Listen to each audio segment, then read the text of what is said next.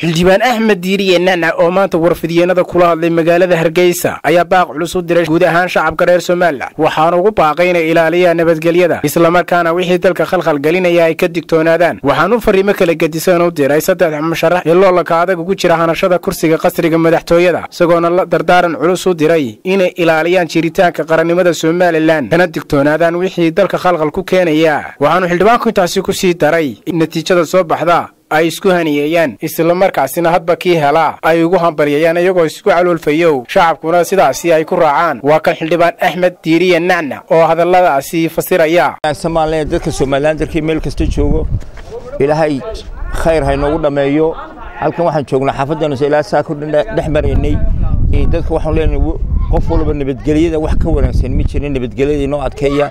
Kii soo baxaba waa walaalkeyn waa inaadeerkeyn waxa ka wanaagsan kuwa mujaahidiinta waa kuwa inay waxay ku soo dhinteen oo maanta qalaanqal la geliyo buuq la geliyo ma jecla. Waxaan leenahay qof kastooba xaq baad u leedahay inaad soo soo sharaxdid laakiin haddii foodka lagaa roonaado dee waa inaad u hogaansataa wixii aad dastuurka marka waxaan leenahay waa tan iminka dib la iskugu celiyey ee tiradii dib loo bilaabay. Insha allah bismillahi karim wax khayr qaba inooga soo bixi doona. Ha la xamilo nin walba xamil baanu leenahay nin walba eega baanu leenahay. Laakiin dad in la dagaal geliyo buuq la geliyo wixii shalay intii la isku yacyacay nagu filan.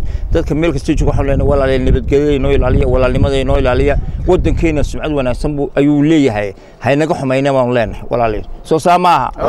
Waa inoo sidaa? Waa inoo ballan? Inay nabadgelyada ilaalino oo aynu kii soo baxbaynu aynu ahlan wasahlan waddanka si wanaagsan cabdisamed jaamac cabdisamed giire ariel t v magaalada hargeysa